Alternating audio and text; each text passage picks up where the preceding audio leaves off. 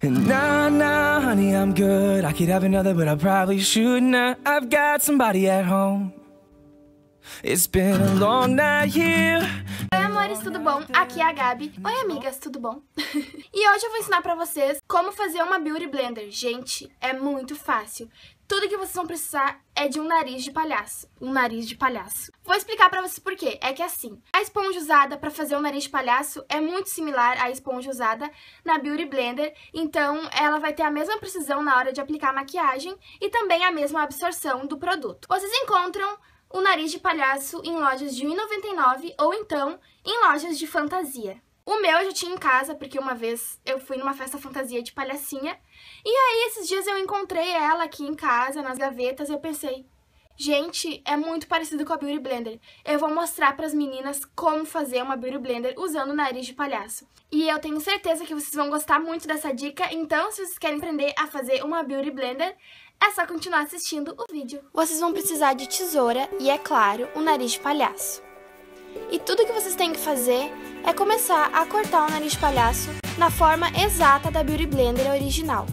Existem vários tipos de Beauty Blender, mas o que a gente vai fazer hoje é aquela tradicional, que é mais gordinha embaixo e mais bicudinha em cima. Então vocês vão cortando e vão ajustando do jeito que vocês acham melhor, até vocês chegarem na forma que vocês mais gostarem e que for melhor para vocês.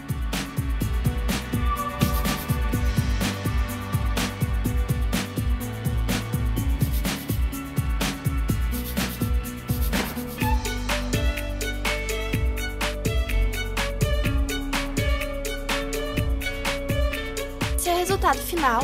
Claro que ela não vai ficar tão bonita quanto a Beauty Blender original, mas o importante é que ela vai funcionar tão bem quanto a original.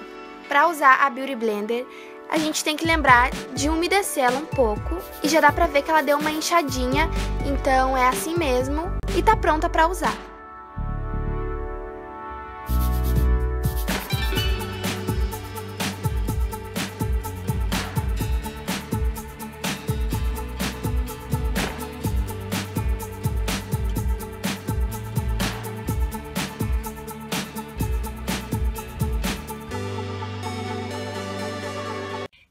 Espero muito que vocês tenham gostado da Beauty Blender. É uma dica muito rápida, mas que com certeza vai fazer toda a diferença na hora de vocês fazerem a maquiagem de vocês. Eu gosto muito de Beauty Blender porque ela tira bastante o excesso de maquiagem e deixa uma cobertura super bonita e super natural na pele. Então eu tenho certeza que vai fazer uma grande diferença na maquiagem de vocês.